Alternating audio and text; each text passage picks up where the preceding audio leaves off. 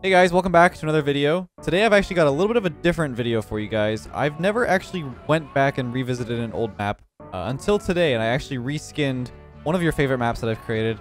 It's the Glacial Rings map, but now in lava style. And the reason why I wanted to do a reskin is because I already had these assets uh, changed over for the textures of a lava style. But I'm, I'm inspired to create a second Rings map since you guys loved it so much, and I will be creating that quite soon. A few other things that I have updates for you guys. I have a new hide and seek coming out quite soon, and I'm finishing up the water race that I started a year ago. So those are two maps that are be coming out quite soon. I think I actually like this version much better uh, than the Glacial Rings. It just has a better look to it. I love the lava and the way that it shines on the map.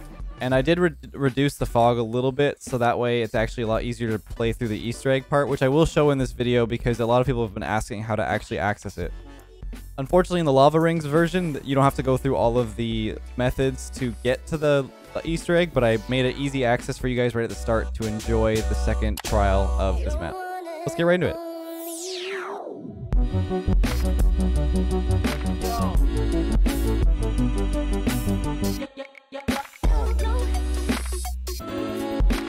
All right, here it is. Oh man, it looks so cool. I'm just gonna basically do it on normal just to show you guys what it uh, looks like. But this thing is a lot more intense with the colors. I like the red rings too. I think it just adds to the, the style. It's like a complete opposite of the ice rings challenge. Now I have a lot of things going on right now. Like I said, the uh, the two new maps coming out uh, quite soon. Uh, I've been trying to keep up with the daily content and keep it unique. I hope you guys enjoyed the air dribble challenge as well. That was quite ridiculous. and uh, also the invisible ball yesterday was kind of stupid, but you know, it was an idea. It worked. It was uh, something. That's for sure. I think I'm going to enjoy practicing on this version a lot better just because of the colors um, and the like just the intensity of the bloom and stuff. I think it's very cool. Uh, the the map is entirely the same though. It, it basically functions the exact same way. I didn't change anything about the triggers or whatever. Uh, so I know people did complain about some of the further levels. Just don't hit the ring forehead. but yeah, this is pretty cool. I, I like this a lot better, I think. Look at it. Oh, so beautiful. Um, if you haven't seen this map before, uh, you might be a little bit confused, but you did see the comparison of the two maps at the beginning. Uh, I made this, I think, near the beginning of this year before all this quarantine stuff, but I, am really, I'm really liking the idea of these rings maps and stuff and the aerial control you can get from them. So I will be trying to create a series of these. There's also an event coming up in the future that I can't really talk too much about, but I will be creating some sort of trials for it. And uh, basically these little mini versions of them and, and, make them pretty difficult. So they're like little short trials. You have to be like execute perfectly or something. Um, so I'm excited to get like a, a, series of like five of these and then maybe a series of five little dribbling challenges as well. I know that for my dribbling challenge, you guys thought it was a little difficult, which I can understand. Uh, but I think it's also cool to have that sort of skill ceiling so you can practice those much more difficult mechanics and just get that your aerial control even better. Man, look at the the background. This is crazy. Oh, whoops, went a little bit too fast. I'm so distracted by the background. Look down there in the lava. It's crazy. Looks so cool. Yeah, let me know in the comments if you guys like this style better, this theme. Uh, I'm sure a lot of you will. I don't know. I got rid of all of the Christmas lights because obviously that's like a, a winter theme thing. But I was going to add like fire torches, but I thought I'd just leave it with the lava for now. I'll, I'll bring the fire torches into the new rings map once I create a second one. But I'm really enjoying this so far, like just going through. This is my first playthrough of the lava rings one ever. I just finished building it, and I'm really, really happy with it. But let me know if you guys have any other challenges you want me to create. Like I know I could create another dribbling challenge, uh, but that took a lot of hours. Like I think that, that that one took longer than this one. You know, you're a little bit more freehand with uh, rings. You can kind of just place them wherever. Look at the sun over there. Oh my god, it's so beautiful. You're a little more freehand to just kind of put, put rings wherever you want. Whereas in the dribbling challenge, you have to make sure that the car can drive like everywhere and, and all the ramps connect properly. And the ball has to like go through the floor. it's like it's it's really weird. Like it's such a different experience. I think I enjoyed making the rings map much more just because of that freedom. But at the same time, uh, dribbling challenge I think is more applicable to actually playing with the ball, you know, on a regular field. And I might create an air dribble challenge because I do want to get more into air dribbling. I don't think I've really practiced full field air dribbling past like a regular field size ever. So doing that air dribble challenge for the first time was definitely a struggle, but uh, I I practiced it right after I made the video because I did it right when I woke up, and I I, I made it to level 10, uh, and then I had to stream, so I did stop. But I think I definitely could go through the whole thing. It's just uh, I think breakout was definitely the key too. Oh look at this, so nice. I don't know, man. I don't know why like reskins just. It's one of the easiest things I've done for maps. Like this did not take long at all. I photoshopped all the all the rocks and stuff, like all the textures to make them basically just look as natural as possible, but not putting too much effort into it. I I took a lot of the old textures of the, gla the glaciers and just uh, changed the hue, uh, color burned it a little bit, etc., etc. And the rest of it's the same. I didn't. I was gonna change the buoys, but like honestly, I kind of, I kind of dig it. like in the in the lava there, it's pretty cool. I didn't change it at all. Like I kept the same uh, colors. The scheme kind of just worked. I, I think Bloom is a very underrated like thing to make maps look cool. Because without Bloom, I could show you the difference at the end, but without Bloom, it makes such a difference. Because all the emissive textures in this map give off that little hue of color, which adds to the whole thing. Um, some of the rocks don't have the emissive texture on it, which is like the, the one that gives off light. Like you can see the rocks on my left there. They don't have the emissive texture, but there's these mini rocks that I put them on to add a little bit more flair to it.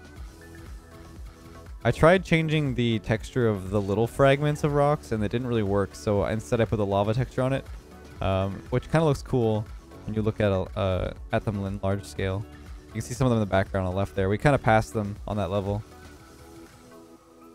But so far so good. This is looking really nice. Like going through the first run here, I'm just kind of looking around to see if I see any changes before I release it for the video. But I'm really, I don't have any complaints. It looks really good. So I did it did reduce the fog, which means you can see more of the level as you go through it, which I kind of like as well. Uh, the reason why there was all that fog in the first one was because of the Easter egg that people ended up ruining any ruining anyways. But I tried to make it hard to find the end, but people lo looked through the code of the map, or like through the uh, the text file, and they read the the Easter egg out and they just sent it to me within the first five minutes. And I'm like, bro, you can't even finish the the map in five minutes. So I knew they were cheating.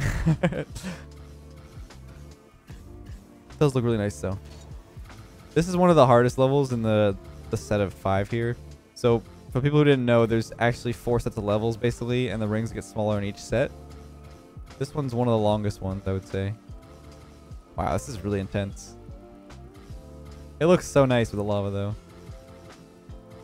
It'd be really cool to see uh, two runs back to back with the reskins. I might try to do that and replicate it. I don't know if I can though. I, mean, positional data could work because it's the same map. I could actually try and put two of them side by side. That'd be kind of nice. That might be another video. Let me know if you guys want to see that actually. I could probably do it. I don't know if the replay file will work uh, quite the way I'm expecting, but uh, I think replays really just deal with positional data and you can load any map with that replay data so as long as the, the cars behave the same way.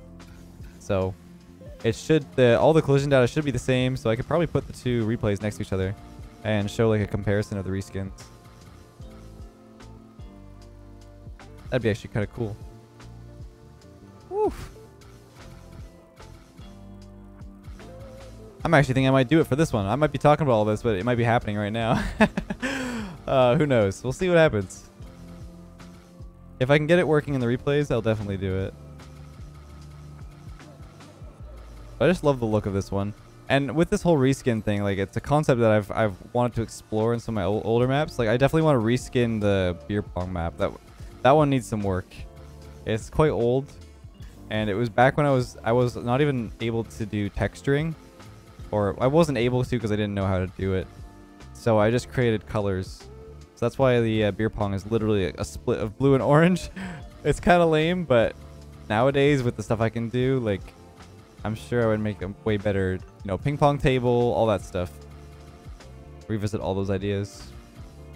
I'm also learning how to model a little bit more. Like I'm, I'm learning on my own, so I've been watching tutorials and stuff.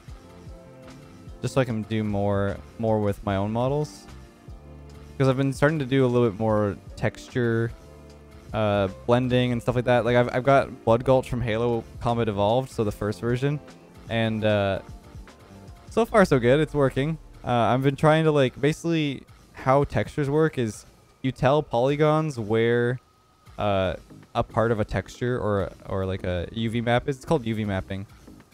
You tell a mesh where a certain textures should lo like be located on like this ring, for example, or the rocks. And then when you import the texture, it matches up to it. So you'll have these like spread out textures inside one like 2048 by 2048 uh, picture that cover a certain certain object. So with Blood Gulch, the way that I got the exported file of the map is that the, the entire floor is one mesh, which means that when I UV map it, I have to UV map the paths and all that stuff on the one mesh. And because because Rocket League is Unreal Engine 3, uh, it doesn't actually doesn't actually transfer that well because you can do uh, this thing called like you can tile your UVs, but with Unreal Engine 3 with Rocket League you can't do that. So I have to actually like just straight up do a strategy where I have like let's say a grass texture, and uh, I have I want to put stone on the outside near the grass. I have to take the stone texture over top and overlay it with grass and then erase where I want the grass to show through. I mean, it's a very useful uh, technique, but it'll be a bit difficult because also the texture resolution. So like um, the textures, let's say I make it 4096 by 4096, but the entire map is spread out to a, a full size of blood, blood gulch for the cars. Um, that texture will start to get more and more stretched as I make the map bigger.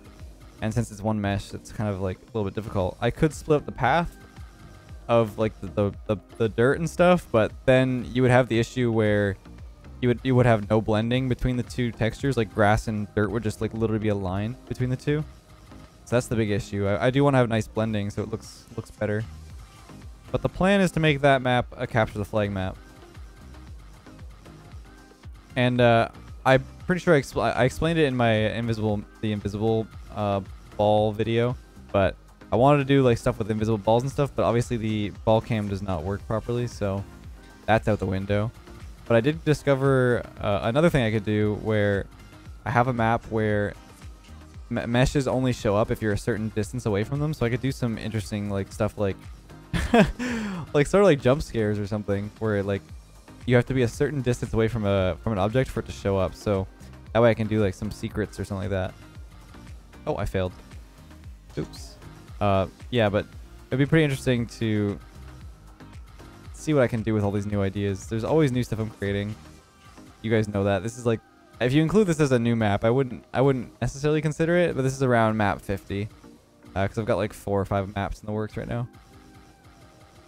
That's pretty cool. So there's 20 levels for you guys who don't know. So there's only two more levels after this one. But honestly, I'm just very, very happy that the reskin moved over so well. Like, it only took me... this one only took me about two hours to do this. Because I just replaced all the... Like, all the water meshes where I could just replace them with the lava texture. And they seamlessly connected. So, the lava looks great. Uh, people I know have asked for moving lava textures. But that's not possible, unfortunately. Wow. This is so fun. It's actually so much more fun. I don't know why. I think it's just cool because I spent so many hours on one map and then to create such a cool looking masterpiece in like two hours is very cool. Um, but yeah, just kind of spewing a bunch of stuff. It's sort of like a, not really a podcast, but just talking about my ideas that I had. Since, since you guys have seen this map before, it's just a different style. I thought I would use this time to talk with you guys. See if you have, see if you have any questions about certain things or what I'm what I'm up to, what I'm what I'm doing next. But just know that I'm not stopping. and a lot of people say don't get burnt out, but honestly, this I really enjoy it. I'm someone who like would sit in Minecraft and build these big cities block by block, so I never get bored of that kind of stuff. I just like being able to create and share with other people and every time I see someone say, "Wow, this is insane," like I it, it keeps me motivated to make more because it just shows that people do appreciate it. Even though like some people say I should have more subs than I do, I don't really care. Like it's I'm happy with what I what I've got for community. All of you guys are really nice. Like everyone's really supportive. And my my Twitch my Twitch community is great too. Like I don't even really need moderators most of the time. There's a few people that come in with new accounts that say stupid crap, but it's not a big deal. Most people are just really nice and you know supportive of each other, which is really cool to see. Here's the end. Wow. That's pretty crazy. It's really incredible that I was able to just change a few textures and uh, make an entire map out of that basically with a reskin. But here's the uh, the new thing I added. So there used to be a, an Easter egg that you have to go through and uh, I'll go actually show it to you because he's still there. we'll skip to uh, when I find him. So the old Easter egg in the Glacial Rings map used to be if you if you completed Impossible mode, it would say find the man in yellow. So that would be the only clue you would get, uh, which is pretty difficult because the Easter egg was for $500, so I wanted to make it pretty difficult to find. But there was this this snowman here, and he doesn't work anymore. I turned it off for this map. But if you if you talk to him, he would say, "Find all 30 of me, or of my my kind." And there were 30. There's still 30 snowmen. I mean, they're lava men, I guess now, but uh, I wanted to keep them there just because it's the, a reskin, right? So basically, these snowmen, you'd go to each of them after you talk to the the yellow snowman, and they would give you a code after you found all 30 when you talk to the yellow snowman again and it would give you a code of the uh, the little lights, and they corresponded to the lights right here. They were there were lights on top of here, and you could touch them in order, and then it would send you to this place. But uh, on this map, I actually just made it so you could just go there. So I I made a little gateway, and this is the Easter egg that I uh, that I hid. It's actually longer than the original map. Uh, however, if you know the way you're going, which it's now easier without the fog, um, you'll find the end. The fog used to be super, super intense. You'd have to go all the way around the entire map. And uh, funny enough, it actually does loop on itself. but yes, that's that's the Easter egg. I mean, if you want to go explore it in the uh, the Glacial Rings map, oops. If you want to explore it in the Glacial Rings map, you can check it out. But the uh, the whole Easter egg loops around the entire map, which I won't spoil the entire thing, so you can go explore it yourself. Uh, but Here's where it loops back on itself if you miss the uh, the exit. Now the new Easter egg on this map is much easier to find. It only says congrats on finding the Easter egg. I don't say $500 whatever. I removed that part because I still to this day have many people message me saying, hey, did I win the $500? um, which uh, obviously I'm not going to give $500 to every single person who uh, finds this Easter egg. I would be more than bankrupt. But as you can see, the fog is still pretty intense, but it's not as bad as it was in the first version. Uh, here is where the hidden path was, which you can definitely see a lot better now. So you'd usually come from this way. Uh, let's say you were coming like this and flying by here. So it used to be that you'd fly here and you couldn't see that ring up to the right, but now it's much easier to see, and that's where you would have to like fly up and go to the end. So if you go up here, and come to the ring, then it'll tell you you found the Easter egg. So there's not much to it on this one, obviously, because it is a reskin. So I did want to I did want to keep the track back here I think it is a pretty cool part of the map. And if you want to practice your aerial control on this part, it's a lot a lot more interesting. Uh, but there it is. Congrats, you found the Easter egg, and you're done. So yeah, I'm pretty happy with this reskin. Uh, let me know if you guys wanted me to reskin anything like my dribbling challenge or anything like that to make it a little bit more interesting, change up the scenery. But uh, until next time, we'll catch you guys in the next video.